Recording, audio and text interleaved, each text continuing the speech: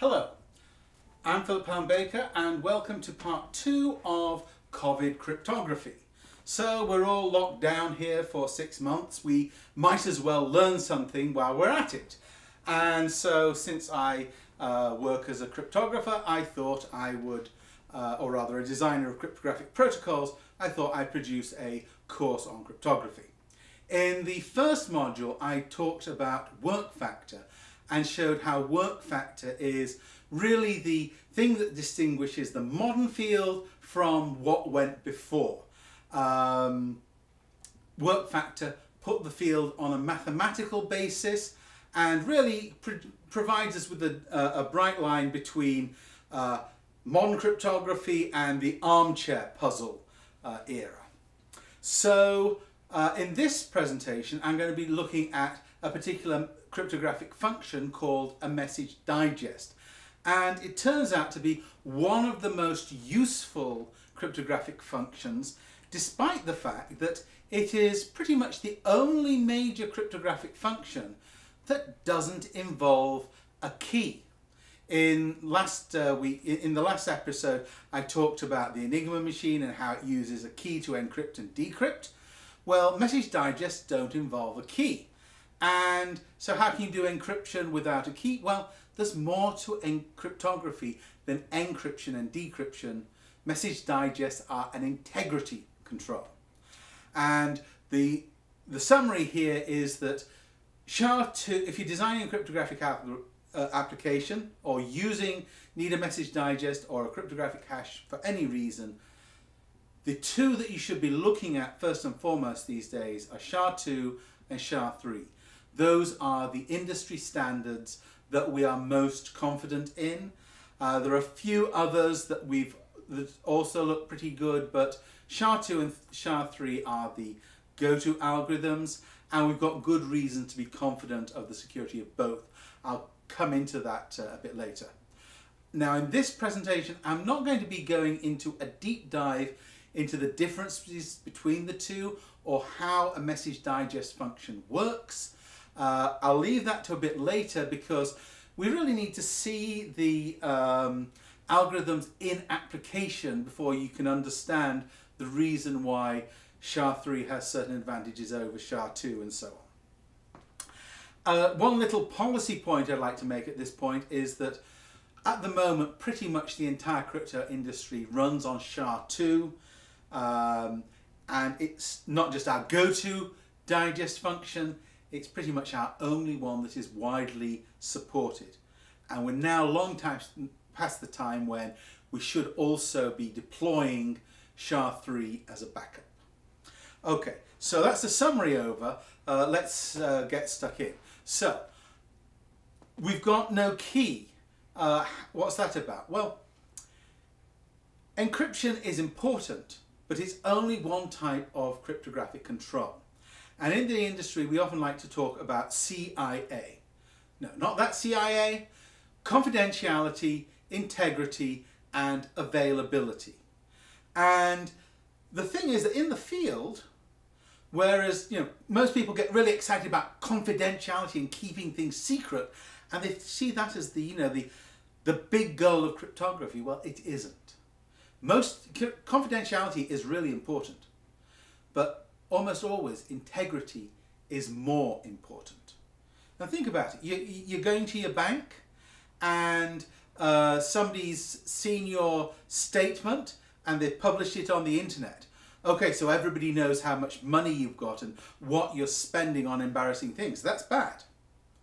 But it isn't quite as bad as somebody takes $20,000 out of your account and you can't prove that it wasn't you you know, because then you're out $20,000. The first is a confidentiality attack. The second is an integrity attack. And I think most of us would be much more upset at losing the $20,000 than the loss of privacy. Availability goes further, and that is keeping, making sure that you keep your information assets, that you can keep accessing your information services. And this doesn't sound like a big impact until you start to think about, well, what is ransomware? You know, there, there's this malware that uh, downloads from the internet onto a machine and then encrypts all the files on the machine and then demands a ransom unless the person to release the key. Well, that's a ransomware attack. And fundamentally, it's an attack on the availability of the data. And, you know, for most people, okay, having their bank details uh, printed, you know, the confidentiality attack is bad. The integrity attack, the loss of money is worse. But, you know, if you lose your pictures of your uh, children when they're five, you're not going to be able to replace them 10 years later because they're never going to be five again. Well, you can have more children, of course, but you know that's an expensive uh, solution. And so that's why ransomware is such a pernicious uh, attack. And so it's not just it's not just a question about confidentiality being the one thing we worry about. We have to worry about all three. And Integrity is usually a bigger concern than confidentiality, and availability is usually the biggest concern of the lot. Consider what would happen if one of the biggest banks in the country suddenly lost track of all its uh, bank records on computer. You know, there was an earthquake or a fire or whatever, and they just didn't know which money belonged to whom. Know, that would not just wipe out that bank, it could wipe out the entire economy because you know, nobody would be able to know how much, you know, nobody to withdraw the money on from their account because the bank wouldn't know how much they uh, had put there. And so uh, an availability attack can be the most serious of them all. Okay, so what is a message digest? Well, a message digest is an integrity control. And to understand the importance, let's just look at what digital documents are. Every digital document consists of a sequence of numbers. It uh, could be a short sequence or a long sequence, but it's basically a sequence of numbers. Text, spreadsheets, web pages, images, videos, they're all sequences of numbers. And computers take those sequences and have a particular set of rules called a format that causes the computer to interpret that sequence of numbers as sounds, images, text and so on. And so JPEG and GIF are formats for images. Uh, HTML is a format for documents that combine text and images. But under the covers, everything is just a stream of numbers. And that stream of numbers will determine what appears on your screen, what you hear, and you know, what transactions take place on the bank. You know, it all comes down to just strings of numbers. Now, modern computers, you know, this wasn't always the case, but modern computers have settled on using sequences of 8-bit numbers. And, you know, 8, 8 bits, you know, 2 to the power 8 is a nice round number in computer terms, and we call that a byte, and a byte is an integer between 0 and 255. And an email will typically be a few thousand or tens of thousands of bytes, an image can be a few hundred thousand bytes. Uh, and a video, well, the first two videos in this sequence, uh, those are uh, around 10 billion bytes. And so, you know, these sequences can get pretty long. And that can present us with a problem. So let's say that you're wanting to, uh, well, let's take the Oxford English Dictionary here. And so we want to see whether our electronic copy of the electronic in, of the Oxford English Dictionary is correct. Okay, um, we could compare every word one for one, but you know that's going to take a long time. It's a big book. What uh, and we also have to have, in order to check whether our copy is correct, we have to have another reference copy the same size. So you know it's not a very useful or convenient check. What a message digest allows us to do is to compress and scrunchulate that very large, long sequence of bytes down to a short sequence of 16, 32 or 64 bytes depending upon which particular message digest we use. And that's basically what a message digest is about. And these can be terrifically useful um, you know, because comparing two videos to make sure that they're the exact same video and one hasn't been modified, you know, uh, downloading a second copy would take you an awfully long time. Uh, comparing the digest, much more convenient.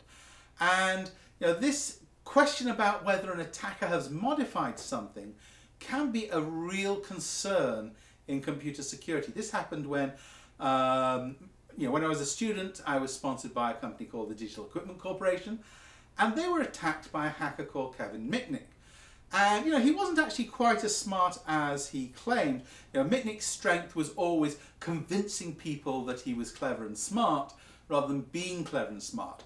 You know, he didn't kind of like look at the way the computer system worked and work out a really crafty way of breaking into the computer.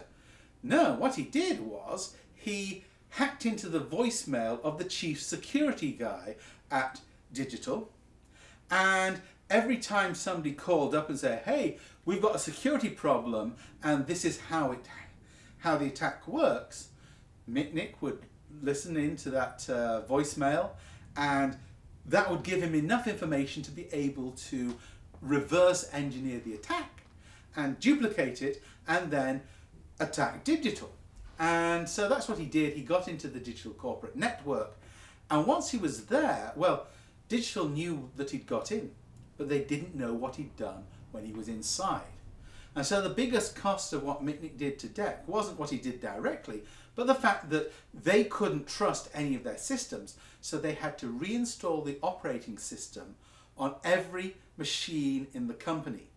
And in those, and this is the mini uh, age of computing, and you know those machines were not very fast, and the tape drives weren't very fast either.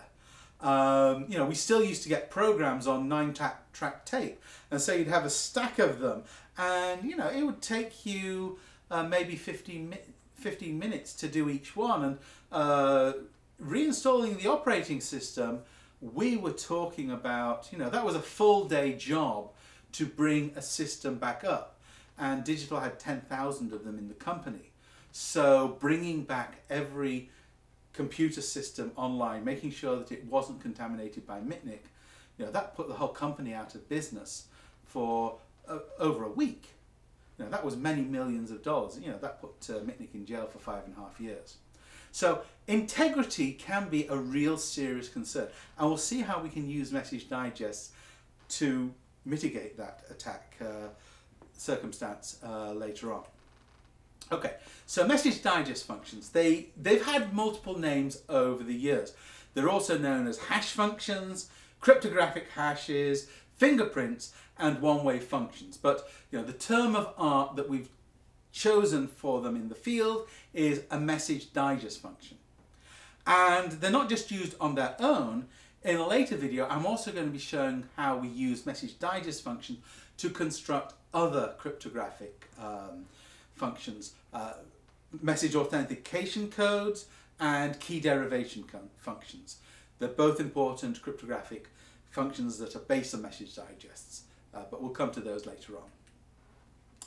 Now, message digests have been really important in the field, but they've got a really problematic history because it basically took us quite a while to understand how, how important they were, what sort of properties they needed, and it took us even longer to work out how to design them right. And one of the reasons for that was that we didn't quite understand how the cryptograph, the operations we're using to construct the message digest, we didn't know how those translated into a work function.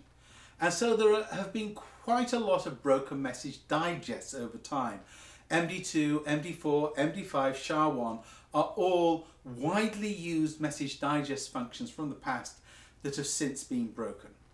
And some of them, they've even been broken more than once, and I'll get to how that's possible uh, in, in a while. So, um, the, his, the modern history, uh, so a digest function is a form of hash function, and those are even earlier. Uh, in fact, they come from really the birth of uh, modern computing. The very first edition, first edition, the first volume of ACM Transactions, uh, one of the papers there is a translation of an earlier paper, originally paper, printed in Russian, that describes a hash function. What does a hash function do? Well, it takes an arbitrary input, and produces a fixed length output. And they are one of the most useful and most fundamental structures in computer science. They're the basis for Google. They're how Google works. Uh, you couldn't possibly have a search engine that was working by searching through every document on the web in real time. What Google does is it reduces those documents to a stream of hash functions and it has various structures that sort and collate and index and cross-reference and provide a way of going from a hash of the query to the documents that are being referenced by that query really quickly. And so you know, we can come back to uh, how Google works or how search engine works later on, but you know, underneath hash functions are one of the most critical uh, pieces of um, operation. Now they're also used in digital signatures and in cryptography and in particular we discovered that we needed them uh, when a particular uh, system called a, a, digital signature was uh, created. Uh, now the thing there was that um, we a message. I'll get to what a digital signature is a bit later, but uh, it's basically providing an integrity control that involves a key, and that's all I say for, for now. And the thing is that they're really useful, but they're a bit slow, or rather, they only you can do them in you know a few tens of milliseconds, which you know is pretty fast. You know, tens of minutes, tenth, a hundredth of a second. You're not going to notice that. But the thing is that the signature algorithm itself is only really um, providing an authentication of a few bits, you know, uh, 256 bits, 448 bits, uh, maybe a thousand bits. But it's a really short message that they can sign at one time. So it's quickly realized that it's going to be impractical to process the entire input with the digital signature we've got to find a way of reducing that input first so that we can sign it. And so we're going to need a hash function. But we're going to need a hash function of a very particular type. And in fact, we're going to want a hash function that is quite distinct from some of the hash functions that we used before. If you're trying to compare two images for equality, you know, you wanted to see, you know, is this image from the web the same as that?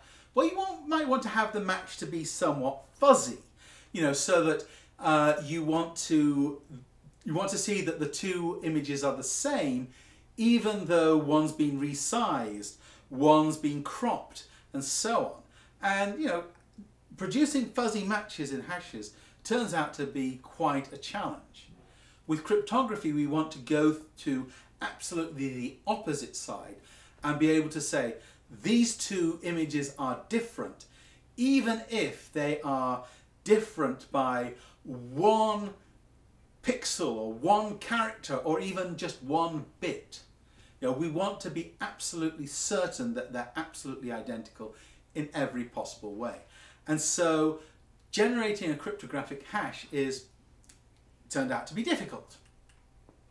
So there are two ways that we can specify the properties of cryptographic digest. Now, I'll do it informally first and then I'll explain how we, we specify that with a bit more mathematical clarity.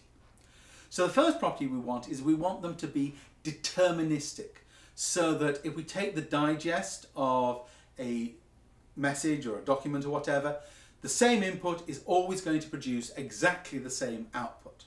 So that's deterministic. We want it to be a one-way function.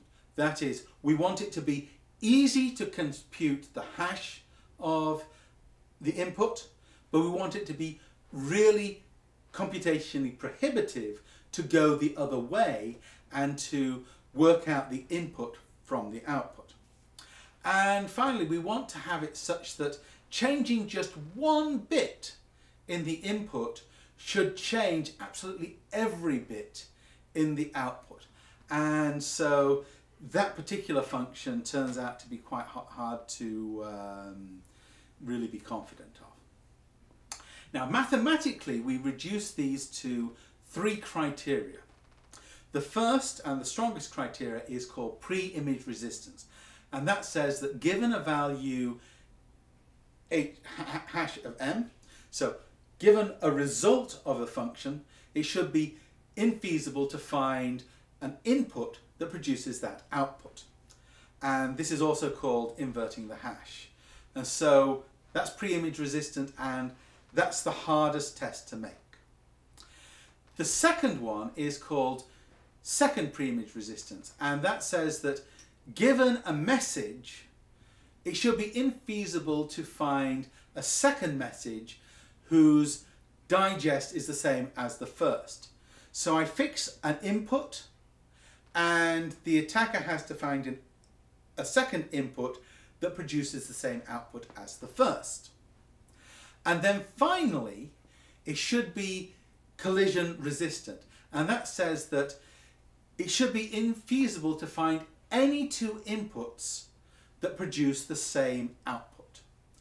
And these are really uh, ranked in terms of difficulty. Pre-image resistance, inverting the hash function, yeah, that's, that's the hardest one. Second pre-image resistance, that's a bit easier. Collision resistance, uh, that is the, usually the easiest attack to meet. And so it's also what we like to see as kind of like the sentinel attack. You know, collision resistance doesn't necessarily have an impact on a cryptographic application that uses a message digest function.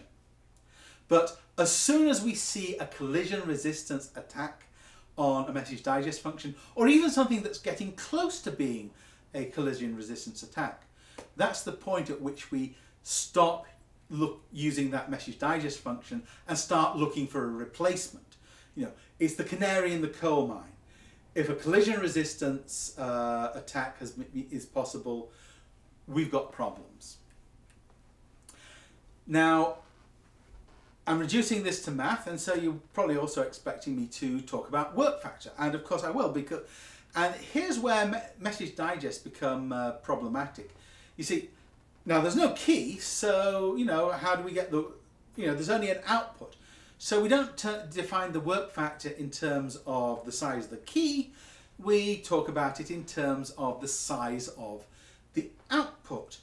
And you might think, well, if we've got 128 bits of output, that means that our work factor is going to be 2 to the power 128 and we're going to be great. Right? Well, yeah, no, not really. And this is where the distinction between the attacks comes in that, uh, yeah, the work factor is 2 to the power 128 for some of those attacks, but not for the collision attack. And this is because of something called the birthday attack. And the way that the reason it's called the birthday attack is, say we've got a room full of 20 people what is the probability that two people in the room have the same birthday? you might be thinking, well, 20 people, 365 days in the year, that's going to be, you know, 1 in 18. That's going to be pretty improbable, right? Well, no, actually, it's better than evens. In fact, it's quite a bit better than evens. Uh, the probability of uh, having two people with the same birthday is 50% if the if you've got the square root of 365 people in the room. And this is just the sad thing about uh, collision attack because the thing is that we're not looking for a match for one particular input, we're match, looking for a match between two randomly chosen inputs. So the more inputs that we have, it's not just a question about if A matches B, it's a match question of whether, not just a question about seeing if something matches A, it's a question of seeing whether A matches B or A matches C or B matches C and so on. It's all the different permutations. And that goes up with the square of the number of items in the room, of course, and so the birthday attack means that the difficulty of that uh, collision attack goes up with the square root of the size of the output. What does that mean in practice? Well, square to calculate the square root of something, that's x to the half, and so uh, 2 to the power 128 becomes 2 to the power 128 divided by 2, that becomes 64. So we've only got 2 to the power 64 possibilities. Now, in the early 1990s, when MD4 and MD5 were being developed, uh, that wasn't a, you know, that was quite a lot of uh, different possibilities. It's not today. You know, computers have got bigger, they've got much bigger storage capacities. We have billions and billions and billions of digital documents on the web, and so a probability of collision of 2 to the power 64 is no longer acceptably secure. You can find collisions on uh, MD4 and MD5. You know, it's getting close to being able to find them by brute force. Well, you can find them by brute force now. So we needed to, we need to have bigger um, message digest functions. I'll come to that a, a, a bit later. Okay, so what can we do with message digest functions? Well, we can use them to create what's called a fingerprint. Uh, there was a time when we kind of like called a message digest function a fingerprint function, but these days we've kind of pretty much settled on using fingerprint to mean specifically a presentation of a message digest output. And the ones that you see mostly on the web are uh, a hex, hexadecimal uh, output of uh, a fingerprint value, uh, a message digest output. And that's okay, but you know, hexadecimal, well, that's base 16. Uh, so we only get four bits per out of each character. Um, I, I, I, along with some others, I've been suggesting, well, we could produce something a bit better uh, if we used five bits per character, base 32. And we also want to make a few other changes. So if you, if you go to the Raspberry Pi download function, you will see um, they give the fingerprint of all the operating system images that they offer. And that's pretty useful because, you know, if you've got binary download, you've got an unreliable line. If your operating system ends up corrupted after you've downloaded it, well, uh, that's a pretty serious problem that you've got there. And so you'd like to have a good checksum there to make sure that you've not downloaded something that's corrupted. And so they provide you with the message digest function so that you can be sure that your operating system hasn't been corrupted. And that's good. But there's also the other problem of, you know, what if a malicious attacker had come in and corrupted the operating system download? And, you know, you, you often see message digests, you know, fingerprints being presented as a solution to that problem. Uh, actually, when you think about it, no, they're not. Because the provenance of the fingerprint isn't any better than the provenance of the download that you're comparing it to. If an attacker could modify one, they could modify the other on the same site. And so it's a useful uh, control, useful integrity control. It's not a useful security control. Now what is a useful security control is a system called Tripwire, which was originally developed by Gene Spafford and, G and his student Gene Kim. And what that does is it you run it on your machine and it goes through all the files on the machine and it takes a fingerprint of every file in every directory and it produces a big list of them all. And then you can take that list of fingerprints, store it somebody else, somewhere else. So you've got provenance on the list and you can then be sure, and then if you think that the machine might have been compromised, you will every night you check the machine against the list of fingerprints and you can see which files have been changed. Obviously you probably want to have a few filters on there because you know there's some directories that contain uh, files that you know are going to be changed. But you know what, if somebody has changed the uh, operating system boot image, well, you know, you've been pretty seriously hacked. And so this is a good way of assuring yourself that the machine that you're using hasn't been tampered with.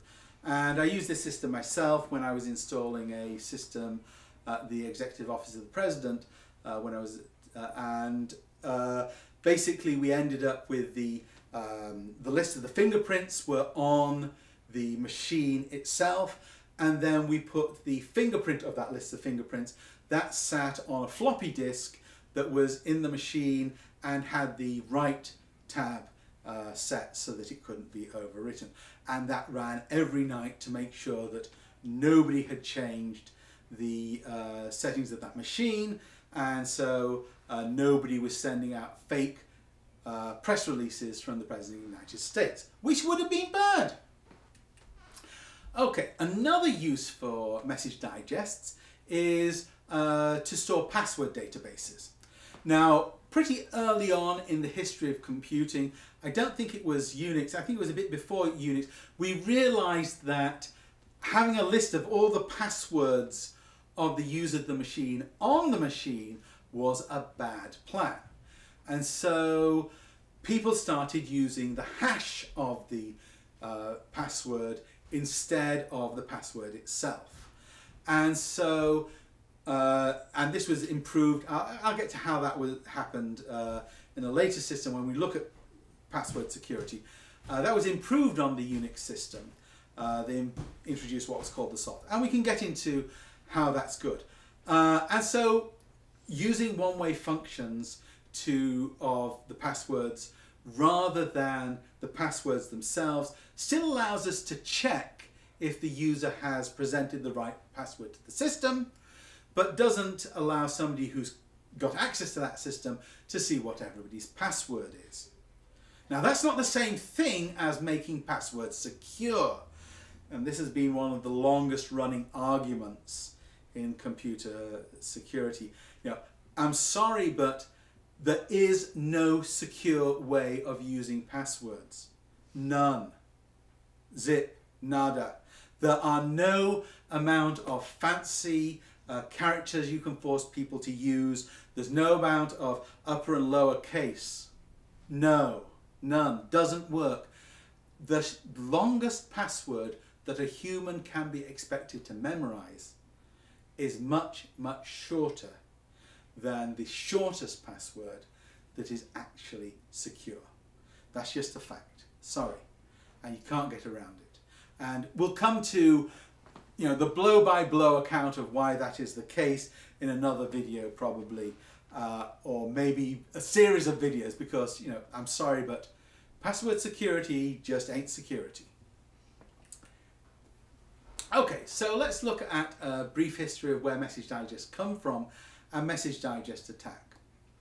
Well, the first modern Message Digest uh, is a system that was called MD4, which was designed by Ron Rivest using a construction called Merkle-Damgard uh, that had been recently proposed.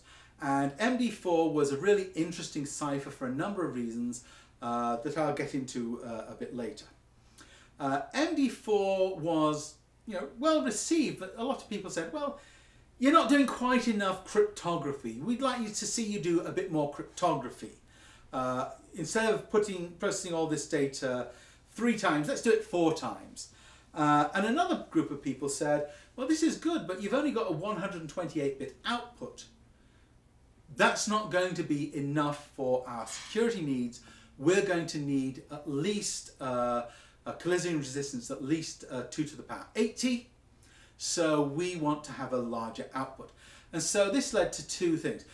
Ron uh, revised his MD4 proposal to produce MD5, which was stronger. And the National Security Agency of the US government uh, took uh, MD4, took the same basic construction, and instead of having four registered, they added a fifth register, and they added more rounds and they added what uh, and that produced what was called SHA naught. And then just before SHA naught was actually released, it was actually blessed as a NIST standard, there was a revision to it that came up that called that produced what was called SHA one. And this revision, you know, there were lots of theory, conspiracy theories at the time, but uh, we didn't really find out the reason for that until 1995 when Hans Dobbertin published an attack on MD5. He had a compression attack on a slight variation of MD5 there. And he shared that with Ron, and Ron shared it with me, and because uh, I had the office down the hall from him at the time, and I was working at the Web Consortium on crypto.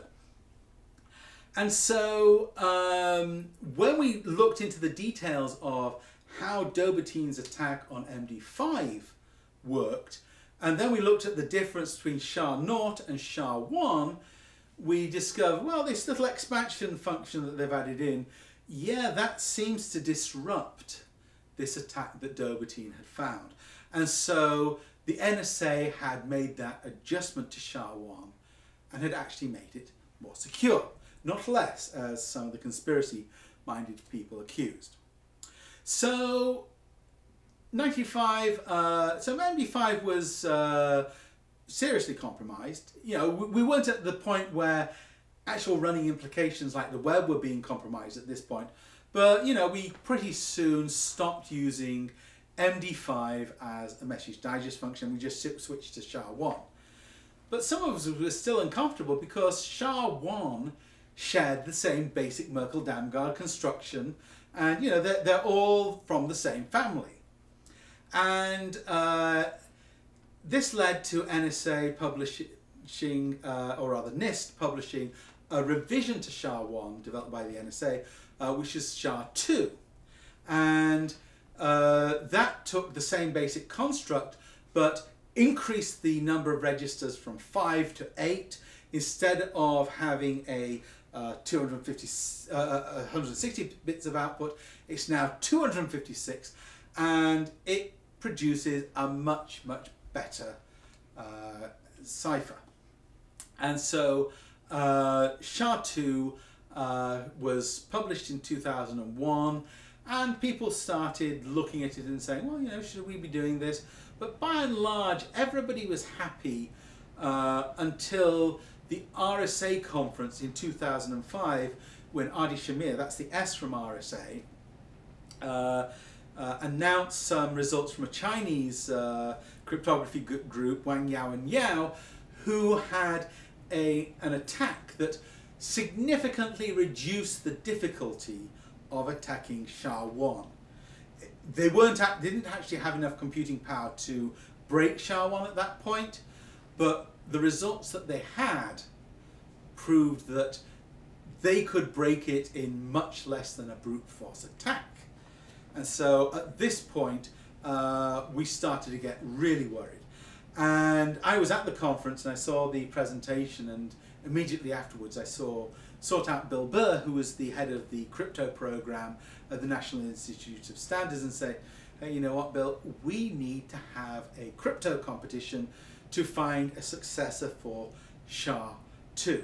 You know, SHA-2, uh, we, we were fairly happy about it before, but you know, it's from the same family as SHA-1, we've got to understand whether it's secure or not, and we have to have a replacement ready just in case it's not. And you know, Bill was really reluctant because he just spent 10 years doing the AES competition. So, yeah. Anyway, and Friday of the uh, conference, I met up with Bill again, and he's saying, "Yeah, Phil, it looks like we're going to have to do a crypto competition for Message Digest because." You know, and the thing was that in between all my colleagues, you know, I was principal scientist at VeriSign at the time, but all my colleagues from Microsoft, IBM, uh, Google, you know, they'd all come and done the same thing, and you know they were all unhappy as well. And so NIST started this uh, Message Digest successor, the, what was, became the SHA-3 competition, um, and you know that that that was uh, a, a, big. Uh, big industry effort. And in 2012, they announced a winner. And the reason I tell this uh, story is uh, basically to back down some of the conspiracy theories that float around in the scheme. You know, the reason that NIST produced the SHA-3 competition and you know, worked on developing the algorithm for the industry was because the industry asks them to produce it. And you know, it was because myself and you know a dozen other people who were all senior crypto people at these leading crypto companies uh, said, you know, this is important to our business. Please, please start working. And you know, the winner of that competition, you know, although it was the US Institute of Standards, it was not a US company. Um, I think it was Dutch, Keccak. Okay, so uh, by 2008, um, people were already starting to get sufficiently worried about SHA-1 that they were saying, don't bother bidding on this proposal unless you support SHA-2. And I think the first uh, RFP of that type that I saw was in 2008 when Cable Labs told uh, us that uh, we needed SHA-2 if we were going to bid on their certificates. Now, things kind of like went along fairly slowly until 2014 when the CA Browser Forwards uh, Forum suddenly voted to phase out SHA-1 effective in on 1st of January 2017. And this kind of like annoyed me. I mean, you know, for all those years I've been saying we got to be moving from SHA-1 to SHA-2 and then they say, no, no, it's okay, we can wait, we can wait. And then suddenly it's, oh, we've got to do it and we've got to do it in three years. Yeah, um, well, that's just the way things happen. Now, the reason that uh, they were that worried was that um, in 2015, uh, a Freestart collision was um, shown on SHA-1. Uh, and what the free start collision mean is that if you unpack the algorithm, uh, there are a few things that happen to the inputs before they happen. And they had a, co a collision function on the interior module of SHA-1. And that pretty much showed that, yes, people were getting very, very close to breaking SHA-1. And that happened in, SHA in 2017 when Google uh, published the shattered attack on SHA-1 that absolutely broke the system. And then just recently, a few months ago, an even further attack has uh, been shown that uh, does a second pre-image attack. So the, the, the, so the security of SHA-1 was a concern, but you know the good thing is that we monitored that concern, we curated the crypto as the indus as an industry, and we withdrew it from use um, three years before it became a really serious concern. I'd have liked to have withdrawn it earlier, but you know you don't always get the uh, thing.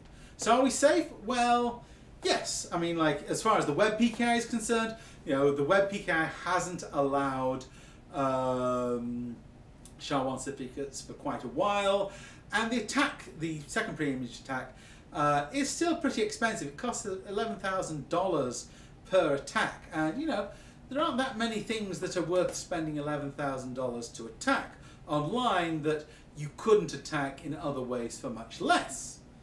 But it's also not really acceptable because even though SHA-1 is not being used in the web PKI, it's still used in countless other systems underneath the covers and you don't always know what those systems are and sometimes you know you have a system that can be upgraded to use a newer and better uh, algorithm, but hasn't been. And this comes back to one of my bugbears, which is you don't actually get any more security from introducing a new crypto system. In fact, adding SHA-2 to a system doesn't make it more secure. It makes it less secure because now you've got two algorithms that could be broken. The only way that you get more security by adding new crypto is if you stop using the old broken suspect crypto. That's what gives you better security. The reason that you deploy new crypto algorithms is so that you can get rid of the old algorithms. In general, uh, most crypto systems, the ideal as far as I'm concerned is to have two cryptographic algorithm primitives for each function. So you have one to use for production, one that's a hot spare in case something goes wrong. If you go to 3, well, that can be okay. But if you go to 20, 30, 40, the chance that something might be bad increases.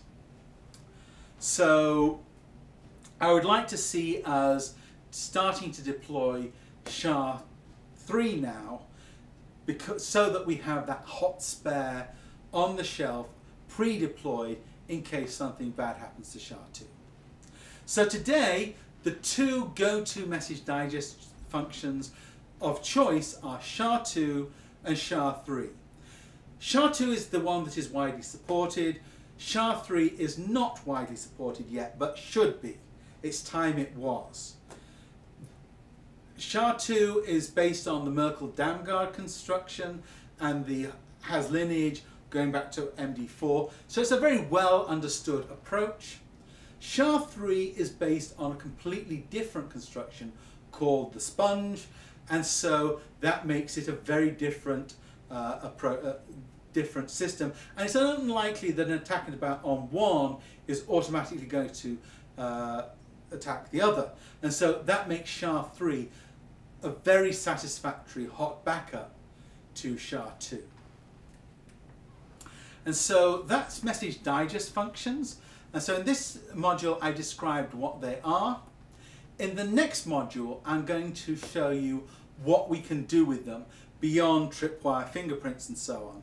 And in particular, that's when we're going to get to what I suspect a lot of people want to get to, which is what's all that deal with blockchain and Bitcoin anyway. So please like, please subscribe, and please stick around for the next module of COVID cryptography. After all, you know, we might be stuck here for six months. You know, might as well learn something. Thank you very much for watching and please take care.